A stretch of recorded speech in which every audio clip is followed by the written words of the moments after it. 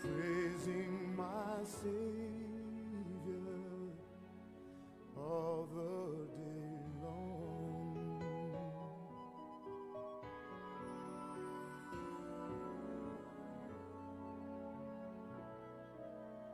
perfect submission,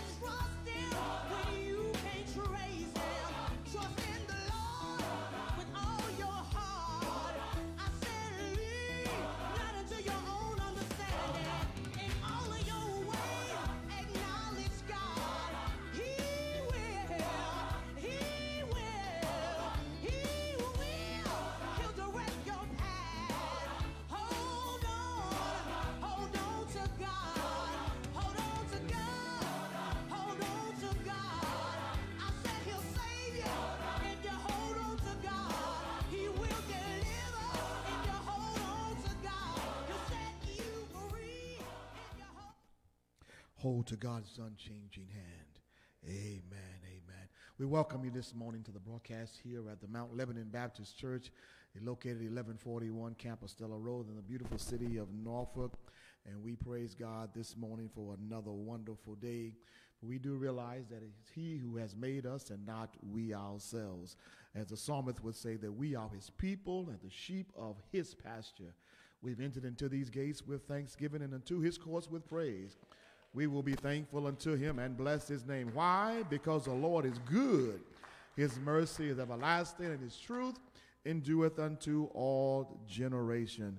We are so grateful that he has blessed us once again that we can come to you this morning live by Facebook once again. And if you're watching by Facebook right now, we thank you for being a part of our worship experience. Or if you're going to be watching later by YouTube, we thank you also for just watching on this day. But we do realize that God has blessed us once again and that we can come and worship him in spirit and in truth.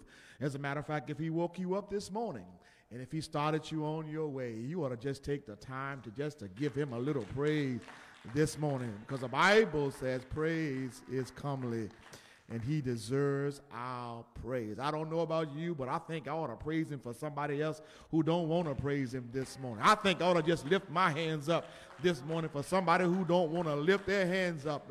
I think I just want to shout right now for somebody that don't know how to shout this morning, just to let God know that we are grateful, that we are thankful, that we are alive, and that he blessed us through the storm and the rain on this week and we are so grateful. Come on, join us as we pray this morning, as we invite God here into this sanctuary. And you invite him into your sanctuary, wherever you are this morning. Our God and our Father, we do thank you again uh, for the privilege that you have provided for us once again, as well as an opportunity to come and worship you in spirit and in truth. We thank you for all that you have done, for how you watched over us, how you've kept us, how you provided for us, and how you have made a way out of no way. And you still been, have been the God of our salvation. And we just want to take this time this morning to say thank you uh, for being the God of whom you are. And so we ask this morning that you would just come, Holy Spirit, and be with us here in our worship experience once again. For we realize that we cannot have church unless you come. So, Holy Spirit, you are invited here in this place. You're welcome here in this place. And we pray that you would just use us in a mighty way on this day. We thank you for all that you have done, but we're going to thank you in advance for what you are about to do. And so we praise your name right now. We give you glory, we give you honor, we give you praise, for there's nobody like you. In Jesus' name we pray. Amen Amen and amen. We're going to take a little praise break right here, and, and we're going to do a little bit of This is the Day. So we can come on praise right where we are. This is the day that the Lord has made.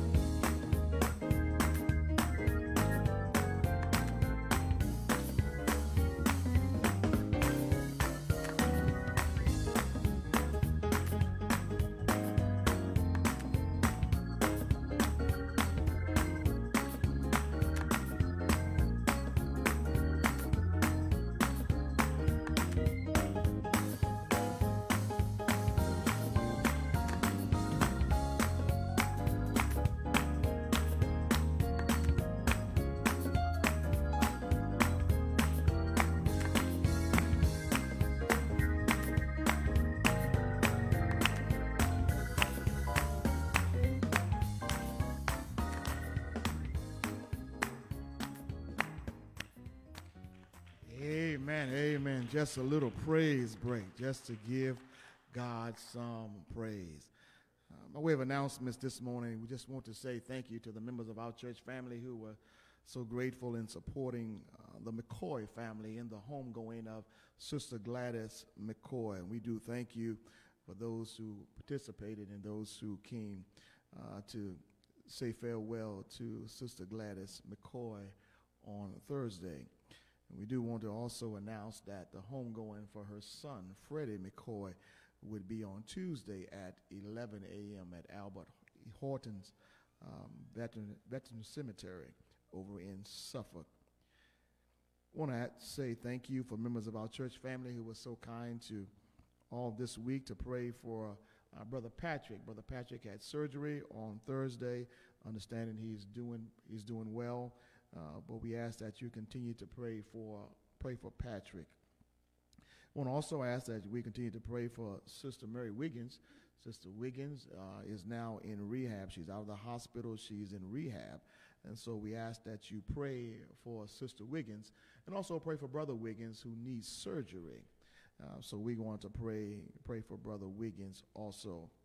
Also this morning we want to lift up the Harris family for one of our former members, Brother Raymond Harris, passed on last week. And we asking that you would just pray for Pray for the Harris family. And there are many of us who are going through things right now, and we all, are, as my grandmama would say, stand in the need of prayer. We all need, need prayer, so we ought to pray for one another as we go through this time in which we are living right now.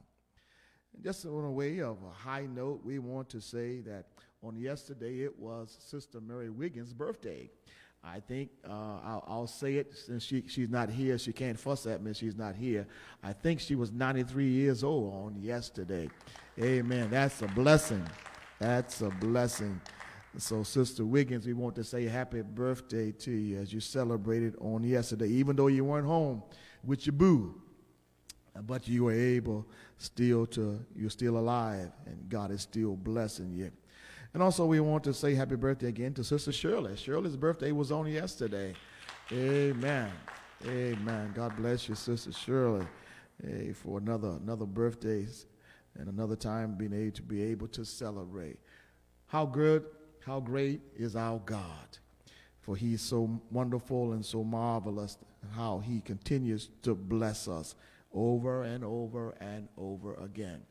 Let me also take the time to say thank you to the members of our church family who have been so faithful in your giving, in supporting the church. And we just want to say thank you uh, for however you're giving, whether you're giving uh, online, whether you're giving uh, by mailing it in, or whether you're giving by bringing it to the church. We want to say thank you so kindly uh, for how you have continued to give because to keep the ongoing work of the church going here at Mount Lebanon Baptist Church and we just want to say thank you for that. Um, we will be working on the roof here shortly, so we will give you some more information on that as soon as we get everything in line for that. So we will let everybody know uh, what's going on. Amen. Amen. It's time that we prepare our hearts this morning for the Word of God. As we listen to music now, right there where you are, make that your sanctuary once again. Make that your altar uh, that you can prepare yourselves to hear the word of God. This morning, the word comes from Judges chapter 4. Uh, the judge by the name of Deborah. We're going to talk about her this morning. We'll hear music now, and then we will come back this morning with the word.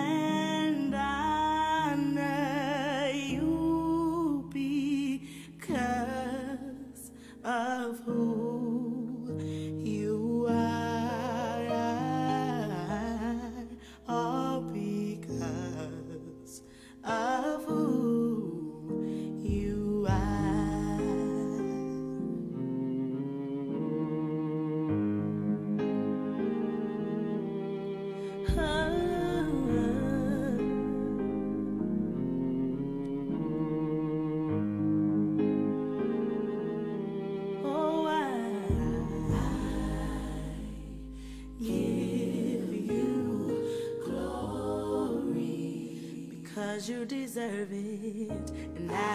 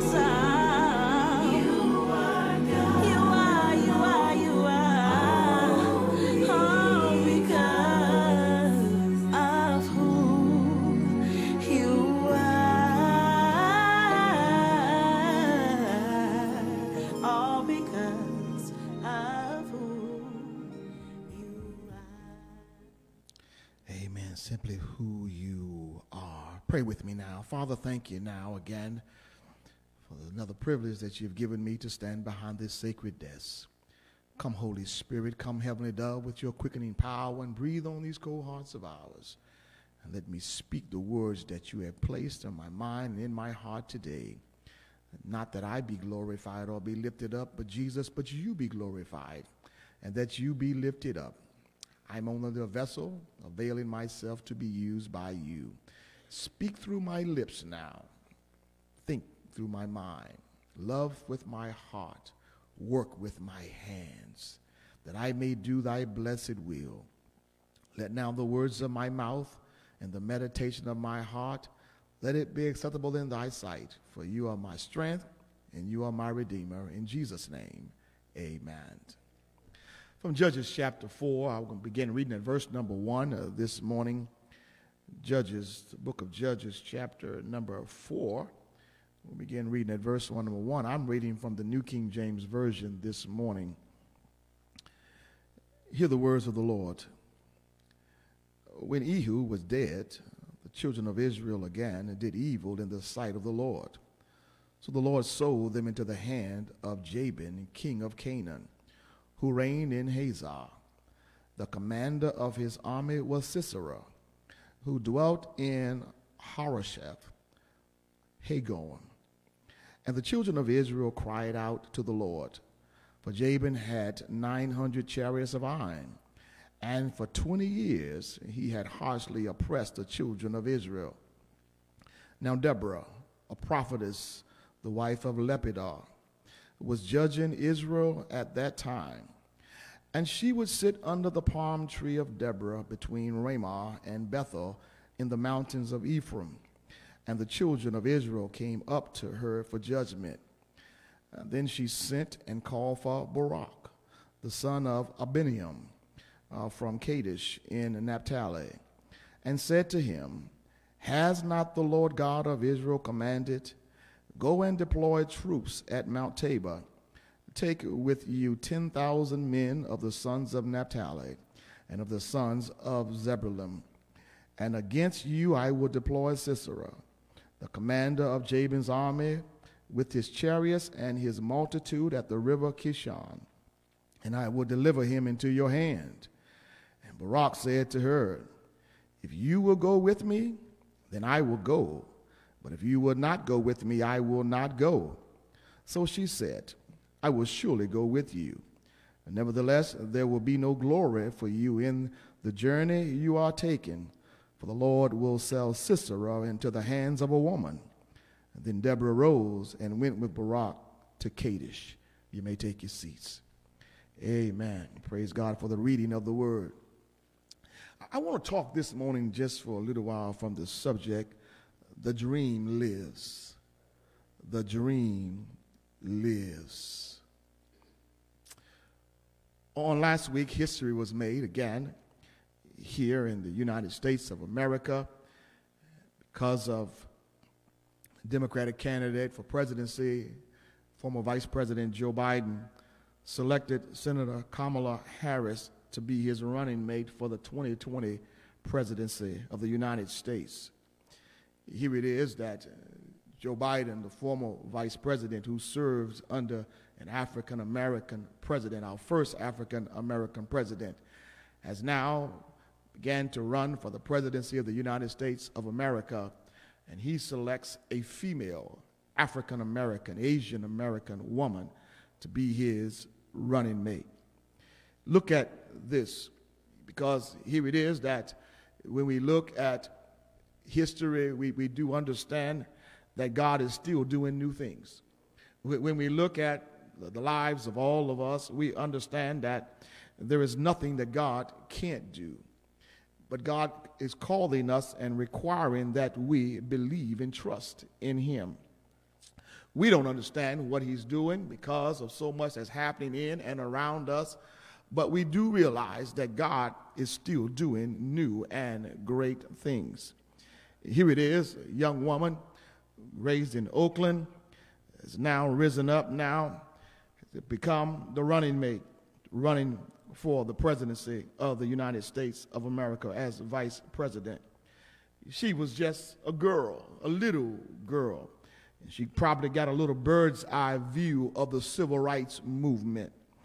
She saw in her sights some examples of individuals who encouraged her along the way. She probably saw a little bit of the fellow by the name of Thurgood Marshall. Probably got a glimpse of Constance Baker Motley. And probably got a little glimpse of Charles Hamilton Houston. All of these individuals, uh, Kamala probably learned from to help to shape her character, to let her know that if you can dream, and that there's nothing that's impossible when you dream. And here she is now, has taken her life and have put her life on the line many times out in California to try to be a life advocate for those who are less fortunate. Here it is uh, this morning. We want to tell you that the dream still lives. What, what dream you talking about this morning, preacher? We're talking about the dreams of Dr. Martin Luther King Jr. When he, when he preached that day and he spoke that day and he said, I have a dream. And but he even said that I, I may not get there with you, but, but we all will get to the promised land. He said, I've been to the mountaintop and I've seen the promised land. Well, if we've noticed that when we look back a little bit, we, we see that part of us getting our dream to come true is that we saw it in 2008. We saw it when Barack Obama became the president of the United States of America. And nobody even thought that he would probably become the president because so often we look at ourselves and we say, not yet. We say it's too soon. But, but we say it can't be. But, but we cannot say what will not be or, or when the time is when God says the time is now.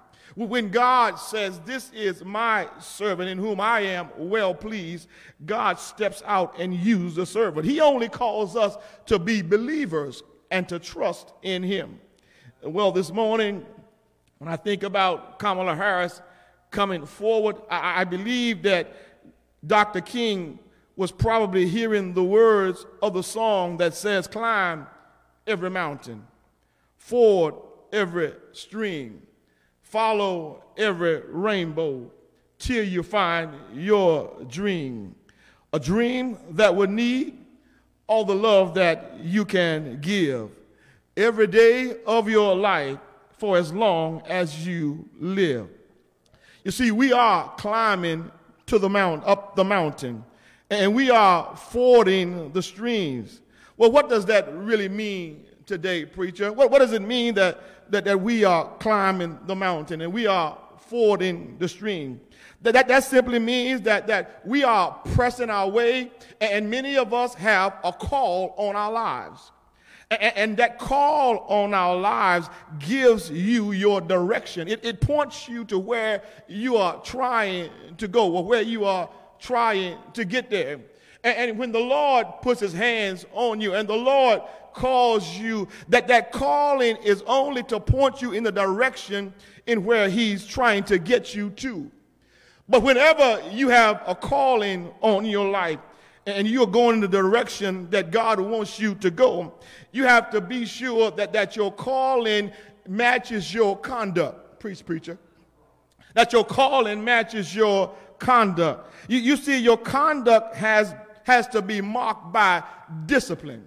That, that even though the fight and the struggle may be great. I, my, my conduct says that, that I still have to understand who called me to be in the fight that I'm in. Can I preach for a little while this morning? Well, I want to tell somebody today that when the Lord calls you and gives you the direction in which you ought to go, you ought to be sure your conduct matches the calling that He has called you to be upon and understand that you got to have some discipline because the road will get rough and the going will get tough and the hills may be hard to climb, but you got to make up your mind that it's not me who called myself, it's God who has called me, and it's God that has developed me and given me the conduct in which I need to go forward to where he's trying to get me to. But hold on, Shirley, because I got some I got some news and it ain't too good. And, and part of it that's not too good is that when God calls you, and even though your conduct, it may be in place, may be where it ought to be, but you got to be sure and, and very sure to know this one thing about your calling and your conduct, you will have conflict. Preach, Bobby. You, you will have conflict. In other words, I want to tell you, you will have some opposition that's going to come against you. Well, Dan Southerland in his book called Transitioning says the greatest difficulty with opposition is that it will discourage you and cause you to doubt your vision. Can I say it again for you? Southerland says the greatest difficulty with opposition is that it will discourage you and cause you to doubt your vision. In other words, what Southerland says to you today, that, that when opposition comes to you, the opposition comes to discourage you, to make you think that you can't get to where God has called you to be. And, and when you have opposition to come up against you, you got to understand who called you. Mm. You didn't call yourself to this, and, and therefore he knew the opposition was going to come. So he has to prepare you for the opposition that comes your way. And if God called you when opposition comes, he will make sure your conduct will be able to stand the opposition that comes your way. Can I tell somebody today that you got to stand flat foot every now and then? You got to hold your head up, straighten your back up, and open up your mouth to tell the devil you are a lie, and I got my foot on your head where it ought to be. And this morning you ought to tell somebody, I know where he's called me to be. I know what he's called me to do. And I'm going the direction he wants me to go. And when I go there, the opposition may come. You might as well come on, devil, because you got a fight on your hand because I know who called me. And I know who holds my hand. Well, well, our, our position Uh, our, our, position now is to pray for our sister, Kamala Harris. Uh, our position now is not only to pray for our sister, but our position also is to vote for our sister. Our position now is also that not only we pray for her and vote for her, but we got to encourage our sister because the opposition has already started weighing in on her to discourage her. And every now and then, when the opposition comes to discourage you, if you're not standing on, on a sure foundation, it, it'll shake your foundation and cause you to, to even doubt what God has called. But if God has called her for such a time as this, God knows how to lift her up. God knows how to hold her. God knows who to surround her with in order for her to get through the fight that she's going to have to endure. Well, come with me to the text this morning because here is a bad sister by the name of Deborah. De- De- Deborah now becomes the fourth judge of Israel. And here it is that Deborah has only seen males in front of her as judges. And She, she's, seen the likes of Othniel, Ehud, Shamgar, and now she becomes the one whom God has called now to lead.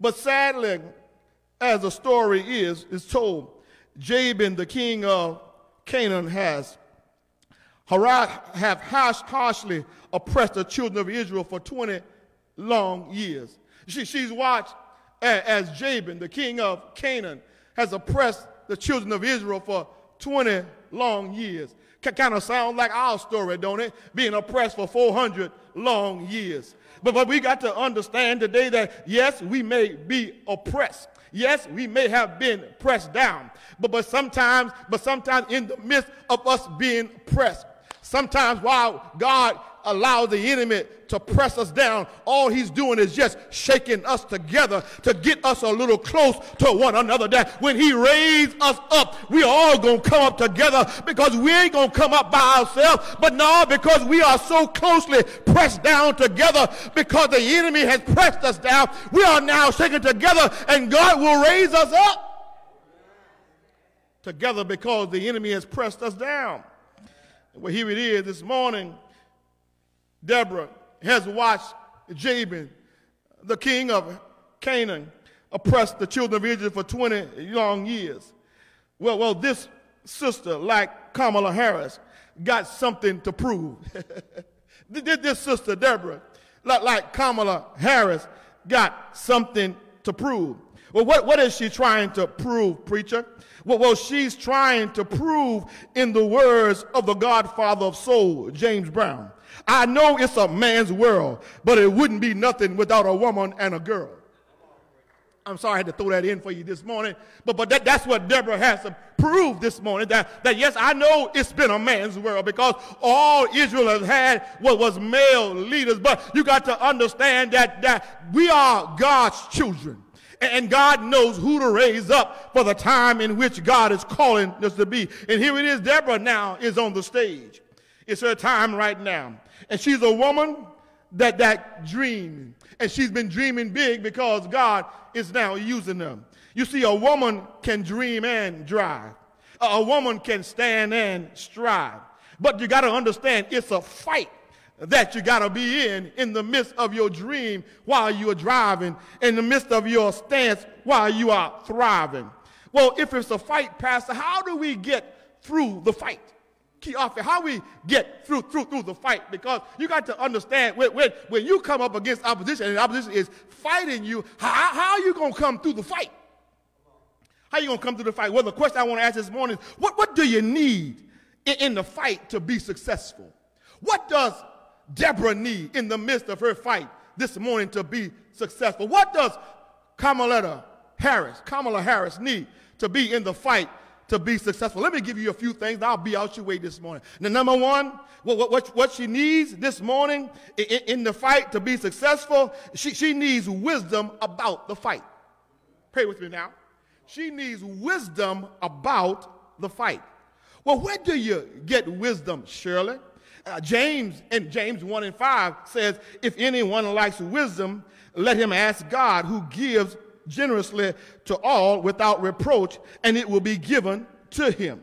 Th- th- that's how, that's what the Bible says that if, you like wisdom, you ought to ask God for it. And when you get wisdom in the midst of your fight, you, you, uh, you got to understand that, that, that in your fight, sometimes what you got to do is you got to learn how to check out the opposition.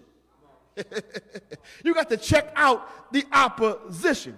You, see, you, you see most, most folks who play sports, sports teams know that, that, that when you are going to play against the opposition, what you ought to do is get you a scout.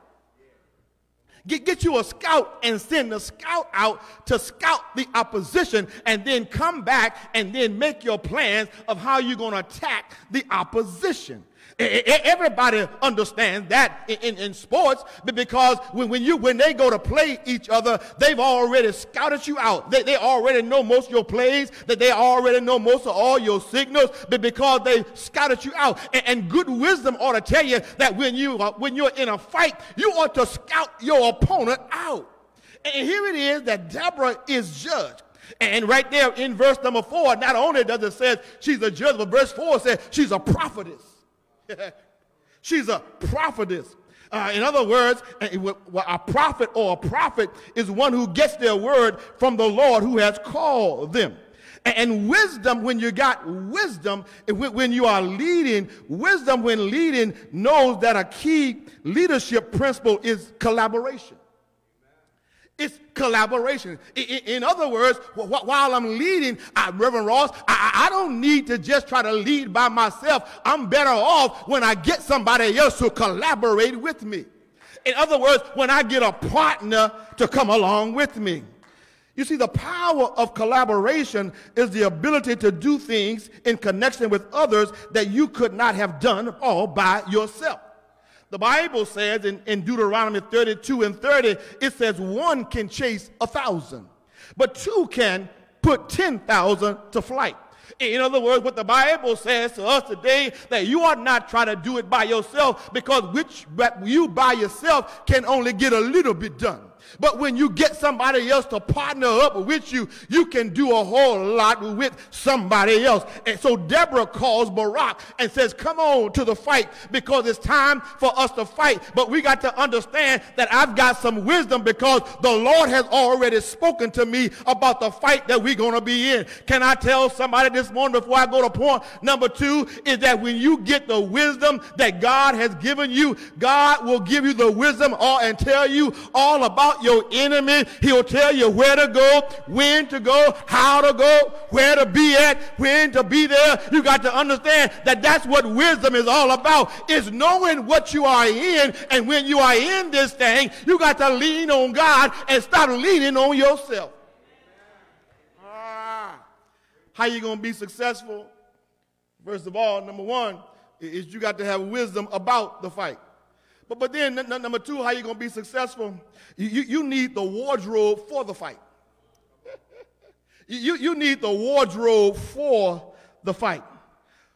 You got to know what to put on when you're going to fight. In verses 6 and 7, the, the text says that, that, that, that Deborah says, Has not the Lord, the God of Israel, commanded you, go gather your men at Mount Tabor Take 10,000 from the people of Naphtali and from the people of Zebulun, and I will draw out Sisera, the general of Jabin's army, to meet you by the river Kishon with his chariots and his troops, and I will give him into your hand. We understand this. If God has already given us his instructions for the fight, then I know what to wear to the fight. if God has already given me the instructions for the fight, then, then I know what to wear to the fight.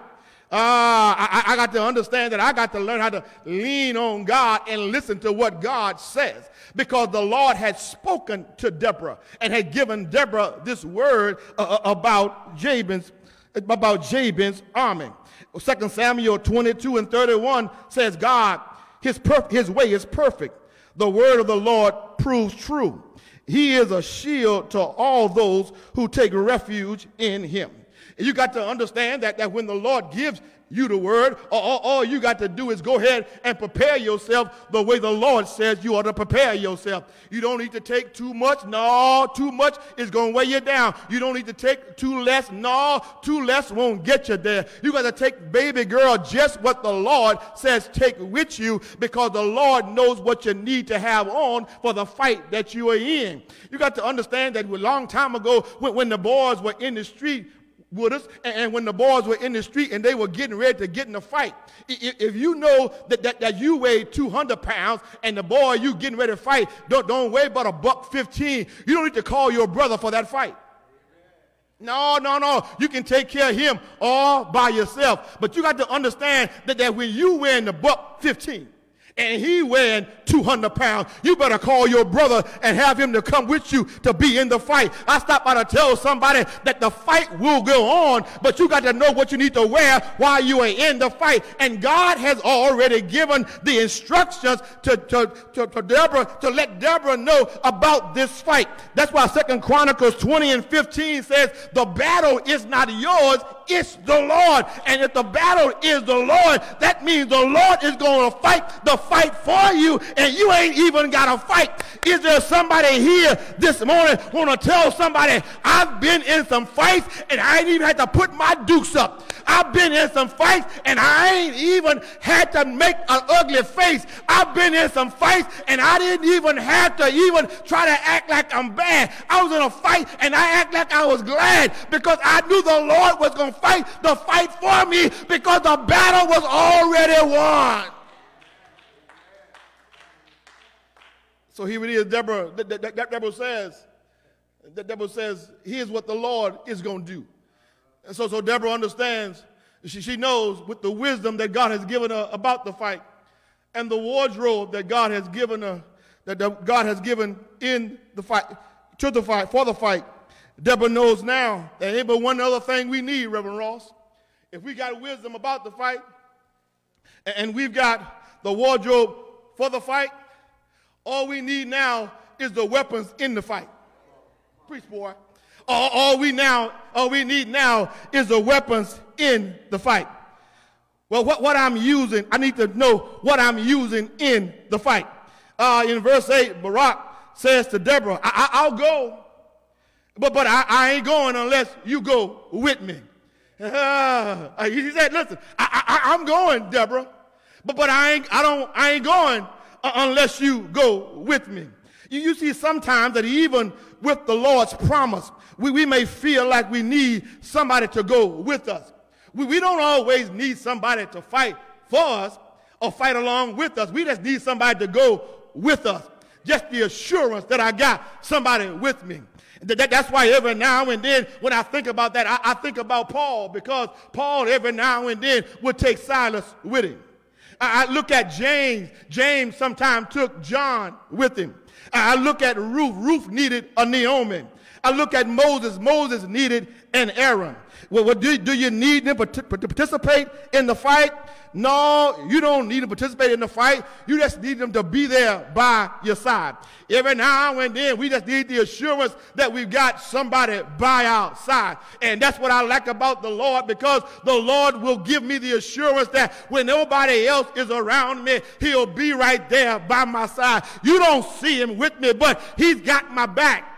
He- He's got me on the left side. He's got me on the right side. As a matter of fact, he's in front of me fighting the battle for me. All I got to do is show up for the fight. I don't need nobody to fight with me. Just come on and go with me to the fight and watch me as, as I let God fight the fight for me. Well, Here it is today. What, what, what, what we need? We need the weapons in the fight. Well, Barak just needed somebody to be with him. Wanted Deborah to be there with him because Barak understood that teamwork makes the dream work.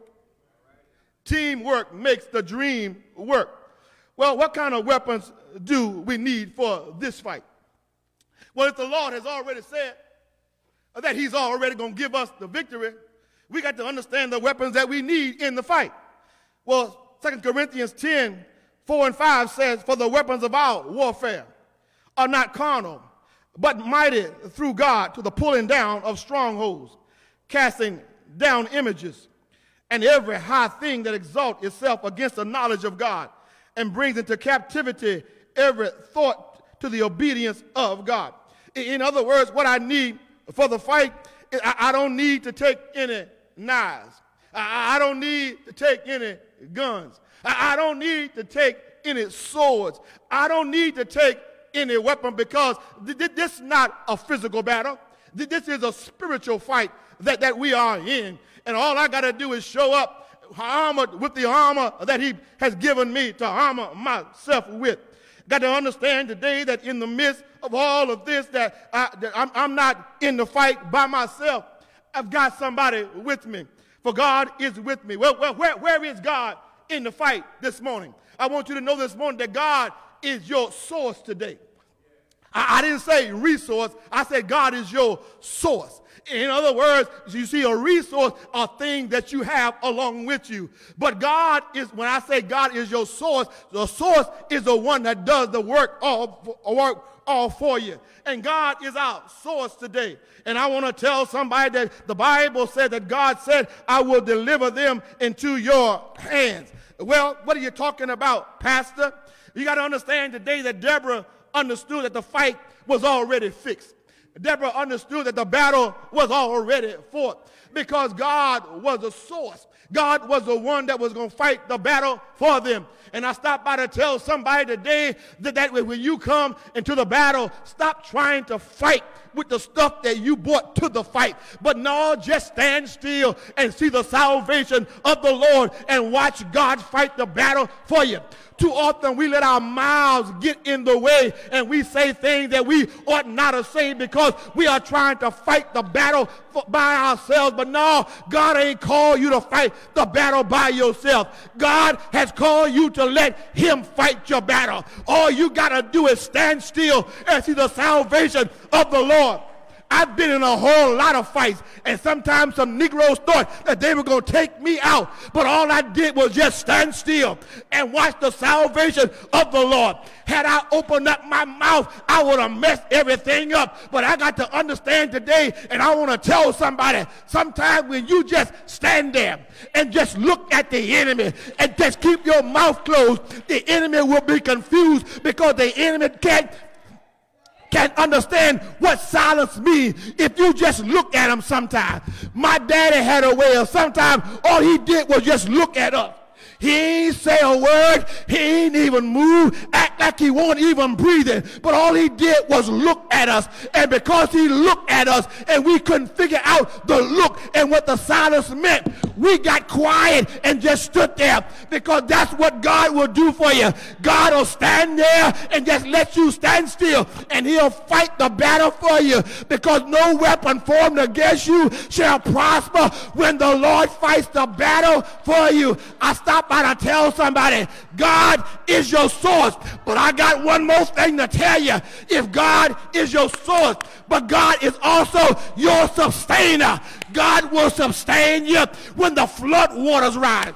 God will sustain you when the wind starts blowing. God will sustain you when hell has get on your trail. He'll sustain you. He'll hold you up on every leaning side. How you know, Pastor? I know because on a hill called Calvary, one Friday afternoon, they hung a man named Jesus on an old rugged cross and they thought they had him, but they buried him in a borrowed tomb. But on the third day morning, he got up with all power in his hand. I stopped by to tell you, he's your source. He'll lift you up. He'll sustain you. He'll hold you that the dream can come forward and the dream will live.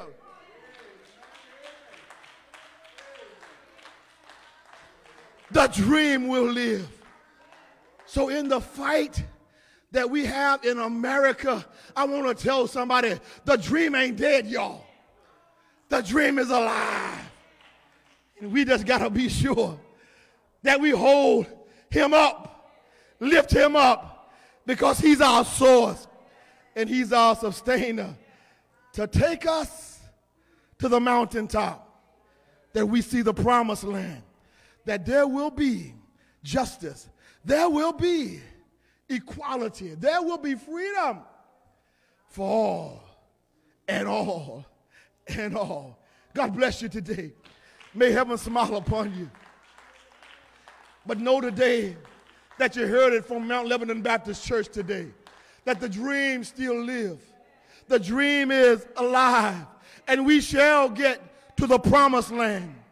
we get to the promise and we're going to get there together because we are pressed together on every side with God holding us up and leading us every step of the way. If you've been watching the broadcast this morning and you don't know Jesus, the source of your strength, I invite you this morning to get to know him. I'm giving you the invitation right now that you can accept him, to make him the source of your life, that you can accept him to be the sustainer of your life, that he knows how to keep you going when everybody else try to tear you down. He wants to come into your life today. Well, how do I accept him, preacher? All you have to do is confess with your mouth the Lord Jesus and believe in your heart that God raised him from the dead. And the Bible says you shall be saved.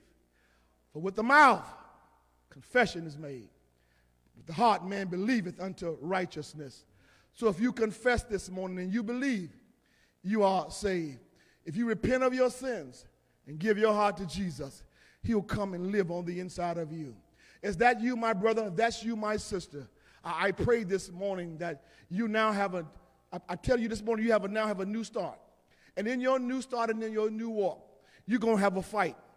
Don't let nobody fool you to tell you that all you got to do is get saved and everything's going to be all right. That's the biggest lie from hell that anybody ever told you. No, the fight now starts because the devil lost a soul that he thought he had.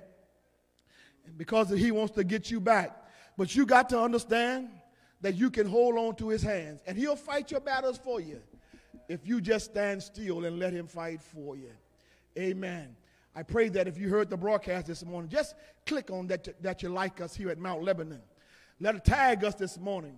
Make a comment out there so we can communicate with you because we want you to be a part of us here at Mount Lebanon Baptist Church. Thank you so much for being a part of us on this morning. And we pray God's blessing upon you. If you want to give, you can give to our church. You can come by, you can drop it off, you can mail it in at 1141 Campostella Road, Norfolk 23523, or you can go online.